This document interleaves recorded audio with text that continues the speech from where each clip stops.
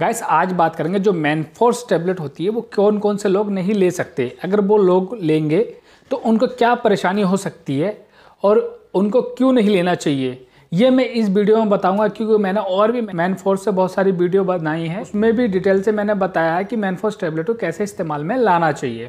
तो इस वीडियो में बताऊँगा ऐसे कौन से पुरुष हैं या ऐसी कौन सी महिलाएँ हैं जो इसको इस्तेमाल नहीं कर सकती। वीडियो को लास्ट तक देखिए, तभी आपको समझ में आएगा। चलेगा इस बिना देरी के शुरू करते हैं वीडियो। मैं हूँ डॉक्टर सुलेमान और आप देख रहे हैं डेक्स अब्बानी यूट्यूब चैनल।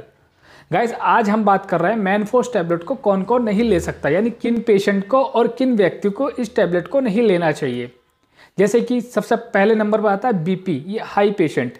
यानी अगर किसी का बीपी बड़ा रहता है, हमेशा बड़ा रहता है वो इस टैबलेट को ना लें। फोर्स लेने से क्या होता है, हमारी वेंस में जो ब्लड फ्लो है, खून का दौरान जो बढ़ जाता है, जिसकी वजह से बीपी अगर जिसका बड़ा होता है, उसका बीपी और बढ़ जाता है तो उसको प्रॉब्लम हो सकती है। इसलिए उसको जिसका बीपी बड़ा रहता है, वो मैनफोर्स टैबलेट को कभी ना लें।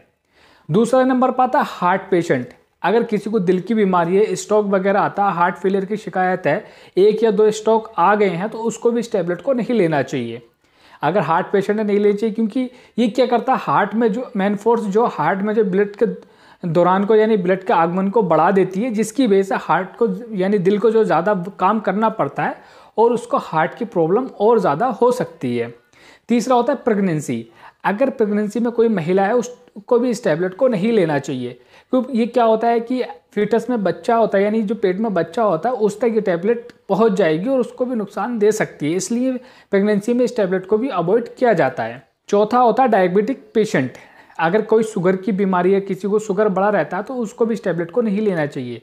क्यों? जिसका शुगर बड़ा रहता है, उसको ऑलरेडी बहुत ज़्यादा घबराहट वगैरह रहती है, पसीना वगैरह छूटता रहता है। अगर वो इस टैबलेट को लेगा तो उसकी घबराहट वगैरह बढ़ जाएगी, पल्स रेड वगैरह जो बढ़ सकती है, जिसकी वजह से उसको प्रॉब्लम हो जाएगी और ज़्यादा पसीना आ सकता है। इसलिए शुगर वाले पेशेंट भी इस टैबलेट को ना लें। पाँचवा होता है किडनी पेशेंट, यानी किसी को किडनी की बीमारी है तो वो भी इस टैबलेट को कभी ना लें। अगर किस, किसी को किडनी प्रॉब्लम है, जैसे किडनी फेलियर जैसी शिकायत हो उसको तो वो इस टैबलेट को ना लें।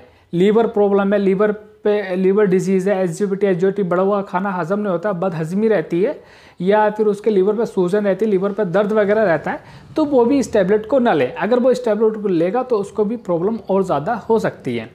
तो ये गाइस मैंने बताया कि मैनफोर्स टैबलेट कौन से पाँच ऐसे लोग हैं या व्यक्ति हैं, पुरुष या महिलाएँ हैं, जो नहीं ले सकती। होप्सो गाइस आपको पूरा समझ में आ गया और समझ में आकर प्लीज़ वीडियो को शेयर करें और चैनल को सब्सक्राइब करें।